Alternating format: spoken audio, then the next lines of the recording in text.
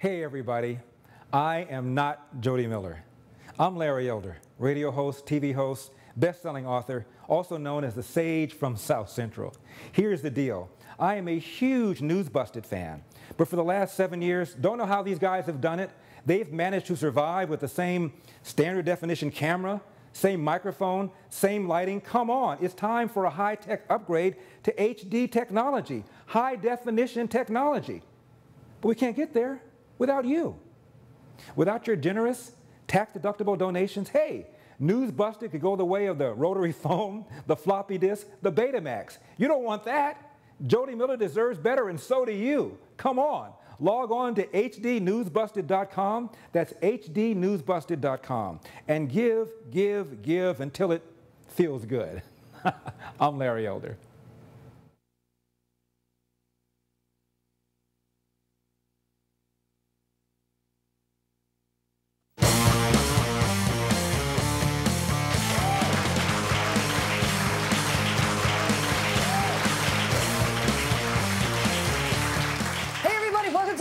Busted. I'm Jodi Miller. Let's get started.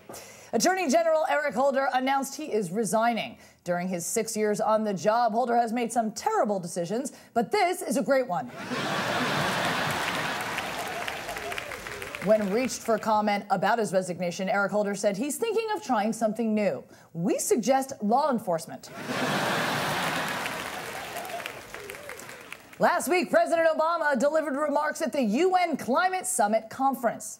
Just what the world needs more hot air. In an interview with Politico, former IRS official Lois Lerner says she didn't do anything wrong. Yes, Lerner would have us all believe that the reason she took the fifth was to conceal what she did right.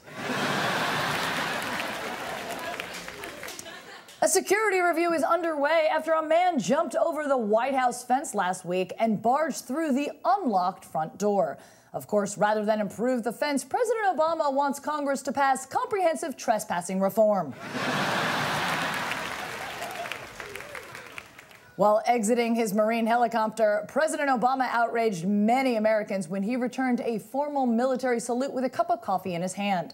And now he's in trouble with the First Lady, who found out the coffee contained cream and sugar.